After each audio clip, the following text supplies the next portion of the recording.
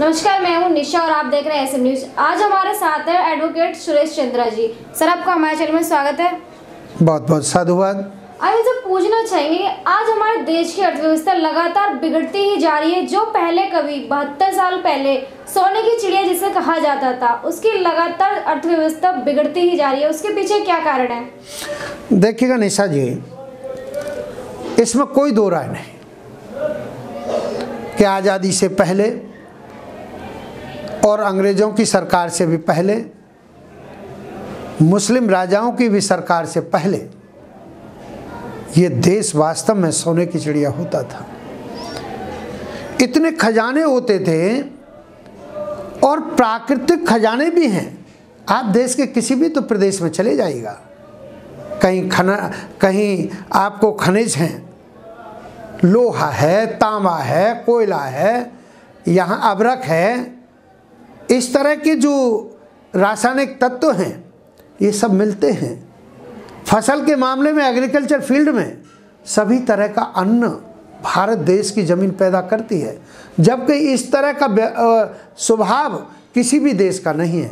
वहाँ की भौगोलिक भौगोलिक स्थिति इस तरह की नहीं है। तो वास्तव में हमारा देश सोने की चिड़िया था। लेकिन समय समय पर इस देश का दोहन हुआ, बाहर के लोगों ने किया और जब देश आज़ाद हो गया, बाबा साहेब का संविधान लागू हो गया, बाबा साहेब के सिद्धांतों पर सरकार को काम करना चाहिए था, वो नहीं हुआ। क्यों नहीं हुआ? क्योंकि लोगों ने अपने खानदान, वंश, परंपरा के लोगों को देश को लुटाना शुरू कर दिया। अभी हाल में निशा जी आपने देखा होगा, सुना होगा, टीवी पर चर्चा हो, सुनी होगी, न्यूज़ सुनी होगी अखबारों में कि विजय माल्या, नीरव मोदी और अनेकानेक लोग मेरे देश को खजाने को लूट करके चले गए। कैसे चले गए वो लोग? तो जब मेरे देश का खजाना, मेरे देश की मुद्रा जो रिज़र्व बैंक उतने ही नोट छापती है जितना मेरे रिज़र्व बैंक के पास और देश के लोगों के पास सोने की मात्रा होती है। उसी अनुपात में रिज़र्व बैंक नोट बनाती है, नोट छापती है।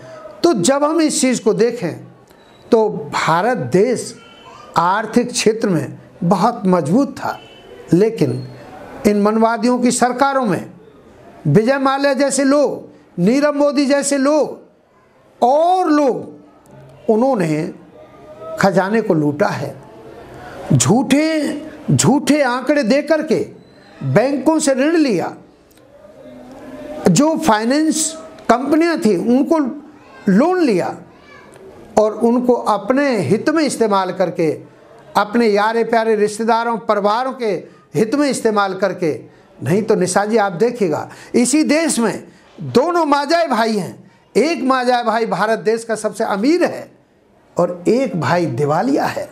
क्या विचित्र व्यवस्था है। इस तरह करके देश को लूट लिया गया है, पैसे को लूट लिया गया है और आज मेरा भारत देश आर्थिक मंदी से जूझ रहा है। और मैं नहीं कह रहा हूँ, इस देश का, आज का आरबीआई के गवर्नर दास साहब कहते हैं और उन्होंने तो बैंकों को चेताया भी है।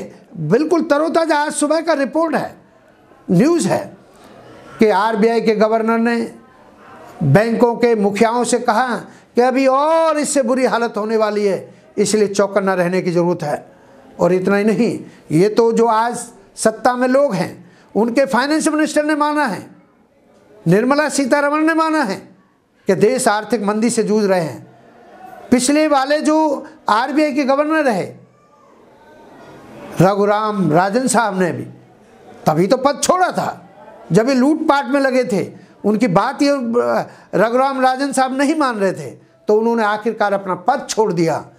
और नीति आयोग आज का नीति आयोग, प्लानिंग कमीशन, उनके डिप्टी जो प्रेसिडेंट हैं, उपाध्यक्ष हैं, राजीव जी, उन्होंने भी इस बात को माना। हालाँकि हमको दोष देते हैं कि विपक्षी दल हमको बदनाम कर रहे हैं, लेकिन ऐसा नहीं है। आर्थिक मंदी से देश मेरा जूझ रहा है। और तभी तो यहाँ की जीडीपी भी घट गई है। जो डोमेस्टिक प्रोडक्शन होता है ग्रॉस वो आज घटा हुआ है। और इसमें कोई और दोषी नहीं है। न कोई साधारण जनता दोषी है। आज जीएसटी लगा दिए, और लगा दिए, और लगा दिए। जीएसटी में इतनी बार बदलाव कर दिए। तो क्या मतलब है? ये सरकारें फेल हैं। और आज इन सरकारों के कारनामे पर देश आर्थिक मंदी से गुजर रहा है, जूझ रहा है, कैसे उभर पाएगा, ये भविष्य में देखने की बात होगी।